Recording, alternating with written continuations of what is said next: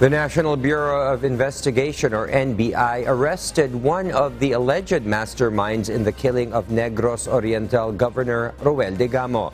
Department of Justice Secretary Crispin Boying Remulla said the suspect was arrested while fleeing the authorities. The NBI has been conducting surveillance since the crime occurred. Hence, Remulla believes the case is already 99% solved. No other details have been provided yet by the DOJ about the suspect. Uh, let's wait for Monday, okay? I'm just telling you that uh, uh, there's a breakthrough. It's 99% solved. The Degamo case is 99% solved.